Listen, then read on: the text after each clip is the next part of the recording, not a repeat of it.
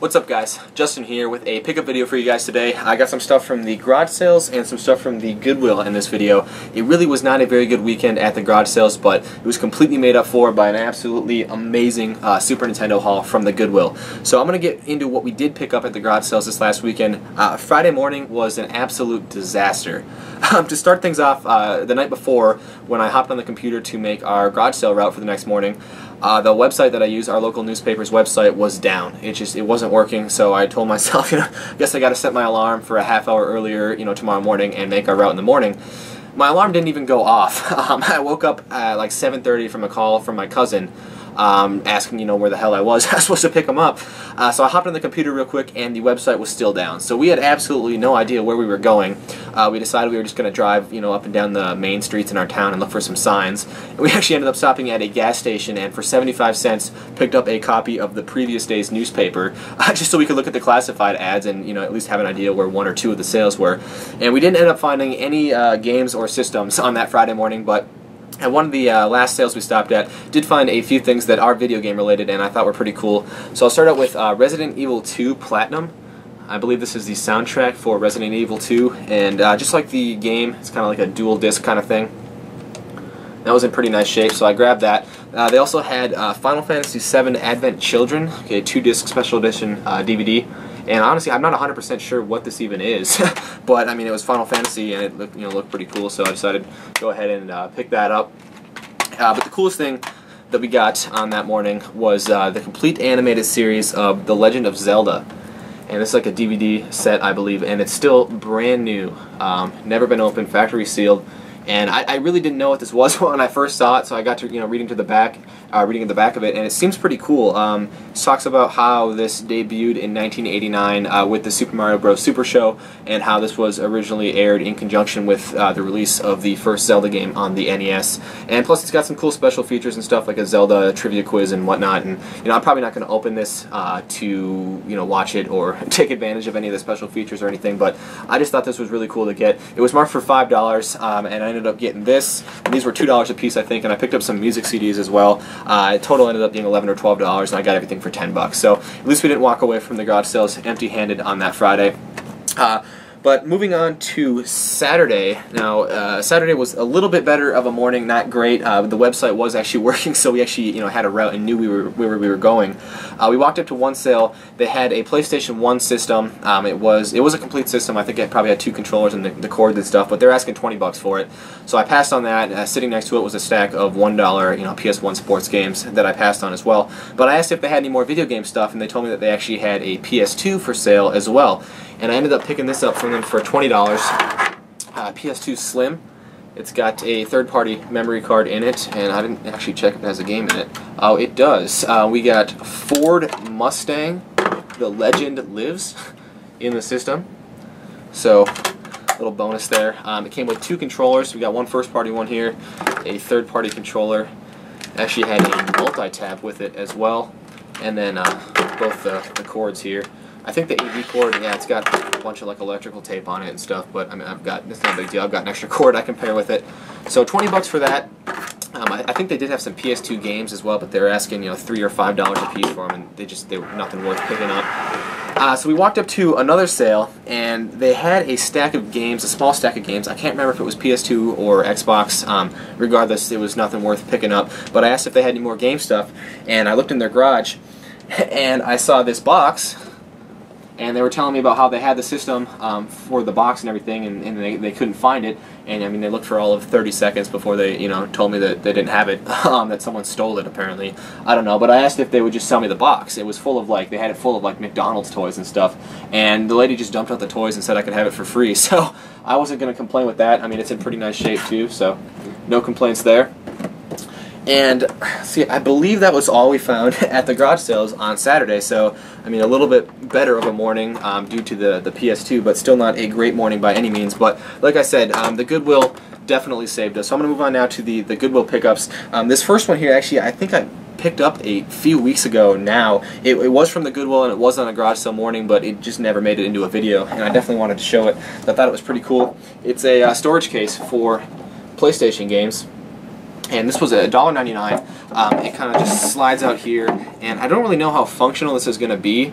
uh, because I did I'll probably show you guys. I put like a disc in here, and I mean they don't really sit in there that well. You know, it's kind of just like leaning back and like maybe if I get like a full row of them, they'll sit better in there. And I just I, I don't really understand the purpose of this in the first place because you know, I have a bunch of these for my N64 systems, these game holders and stuff, and, and that's a different thing because you know unless your N64 games are boxed, there's really no good way to display them on a shelf or anything. Just the cartridges, so they don't even have end labels or anything. But at least with uh, the PS1 games and stuff, you have the spine where you can read the title of the game.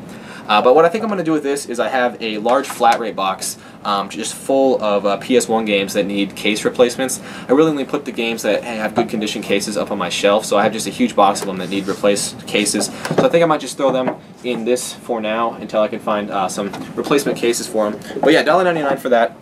Uh, moving on though to the Super Nintendo haul. Now I did I had posted about this on our Facebook. Um, we walked into the, the Goodwill, walked back to the electronics section, and I saw this Super Nintendo sitting there. And it came with, well, all this is rubber banded together, but we got um, the RF cord in here, got the original power adapter, and then two of these um, Interact Super Pad controllers. And I've actually had some luck with these Super Pads before. This is actually one of the controllers I had when I was younger and I played my Super Nintendo. Um, so I have a little more faith in these ones than other third-party controllers. But I looked at the price tag $39.99 and I was just you know I was like great I'm not gonna pay 40 bucks for a Super Nintendo from Goodwill. But then I saw this little note that was taped to the top of it and it says console comes with two controllers power cord you know AV cord um, which obviously was all there and 14 games.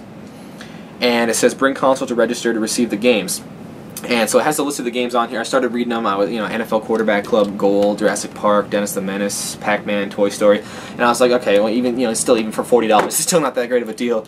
And then I hit the good games. Um, one of the games that was included with this alone is worth almost double what I paid for everything. So I brought that up to the register, and the, the, lady was like, "Yep, got the games," and they're actually in the glass case right in front. I don't know how I didn't see them when we walked in there, but um, yeah, I'll start going through these games.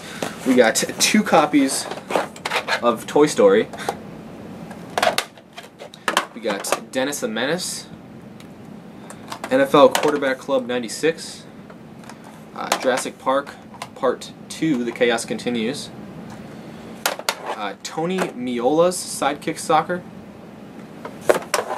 uh, Rap Jam Volume 1, I remember I bought this game from our local family video back when they were uh, liquidating their Super Nintendo games. I think I paid $5 for it, quite possibly one of the worst $5 I've ever spent in my life. Um, this game is pretty brutal. We got uh, Pac-Man 2, The New Adventures, Goal, and then we get to um, the better games. Uh, we got Super Mario World, Super Mario All-Stars, Super Mario Kart. I believe that was all for the Mario games, but we also got uh, Kirby Superstar. And then here is um, by far the best game in this lot. You know, when I saw it, when I saw this game listed on this note, I just, I honestly couldn't believe it. Uh, it is Mega Man X2 and this game is in really really nice shape. Um, I was worried that it was going to be you know beat up and stuff but it's in really nice shape. Definitely one of the better condition games in this box. Both the front and the back look very nice. And like I said this game alone is worth almost twice what I paid for everything. So uh, well also we got a precautions booklet in the bottom of that box. But yeah uh, $40 for all that. Um, definitely saved the uh, the garage selling morning. You know, frustrating weekend at the garage sales in general, um, completely made up for by this Super Nintendo haul. So now I was kind of excited to go back the next morning, uh, Sunday morning, before I went into work, just you know to see if they had any more stuff, see if anything got brought in with the Super Nintendo lot, and uh, they had some more stuff. Uh, right when I walked in there, I saw in the glass case they had a Sega Master System in there. Now the console itself is a little bit beat up. Um, you can see where they use like a cheap sticker or whatever that was. It's kind of peeling up on the front of it there. But I, I did test this. I had a little bit of trouble getting it to work at first um, with this RF cord. I don't I don't think this RF cord works, but I was able to get the system to work um, with a different RF cord that I had. Uh, here's the power adapter for it here, original power adapter, and it came with uh, two original controllers. Now, the system was marked for twenty five ninety nine, which I thought was kind of an odd price. Like, why not just you know even you know twenty four ninety nine or whatever? But uh, sitting next to it was a stack of, stack of loose cartridge games. I think there's five of them, and I just kind of assumed they came with the system. You know, seeing as the Super Nintendo games the day before came with the system. Um, but I asked the uh, uh, there's a new girl actually, a new girl that was working there, and um, she seemed pretty cool. I got to talking to her. She's helping me out with the uh, getting the stuff out of the case and stuff. So, you know, play my cards right. We could have a new Goodwill girl in the near future. Uh, the original Goodwill girl is actually on maternity leave, I believe, at the moment. So, you know, you got to do what you got to do. You gotta you know, maybe play your play the field a little bit, but. Uh, Anyway, this stack was sitting next to it. This stack of games had another $9.99 price tag on it, though, um, and you know I was a little, I, it was a little more than I wanted to pay for everything, um, seeing as they're all loose cartridge and stuff. But I wasn't gonna just buy the system and, and leave the games there. I mean, a stack of five games, uh, you know, two bucks a piece. I had never heard of some of these before. I decided to take a shot on them. We got uh, Alien Syndrome, uh, Shinobi, Time Soldiers uh, Ghostbusters, and finally we got Bomber Raid. As you can see, um, they were all rubber banded together for $9.99 there. So, I mean, with the system and the games, after tax, it ended up being like, you know, $37, $38, which, again, a little more than I wanted to pay for everything, but, you know, I got to talking to that new girl and stuff, and she seemed pretty cool. So, anyway, I believe that was all I had to show uh, for this video. Again, not the greatest weekend at the garage sales by any means, but uh, completely made up for at the Goodwill. So, I want to thank you guys for sticking around and checking out the video, and until next time, take care.